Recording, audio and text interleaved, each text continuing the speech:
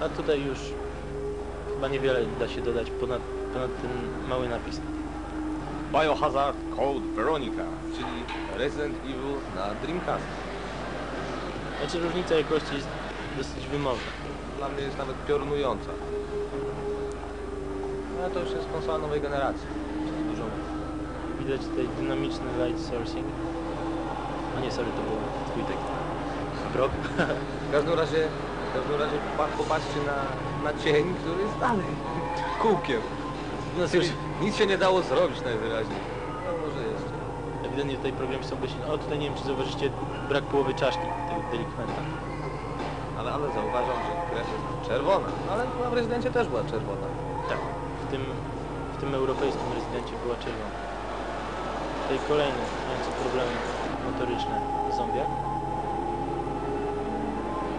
No ciekawe, czy bardziej przyjmie się taka sterylnie czysta wersja rezydenta w porównaniu z ponurymi, brzydkimi, ciemnymi pomieszczeniami z poprzednich dwóch części. No to tak powiedzieliśmy wielopoziomowy, to znaczy można wejść na schodek też. Na wyższy plan. O, tu znowu ten ten koleś bez połowy głowy oraz pająk. Uważam, że po tej demonstracji będziecie znali już jakieś 70% potworów, które występują w Codename Veronica. To była tekla. Pajęczyca. O, a tutaj bardzo, bardzo istotny element, nie wiem czy zauważyliście, że ten zombiak przechylił się. A tu jest fajnie koleś ze strzelającą ręką. Ale to jego brat ręką. bliźniak.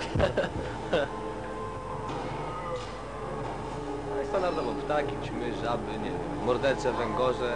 Zombiaki, likery.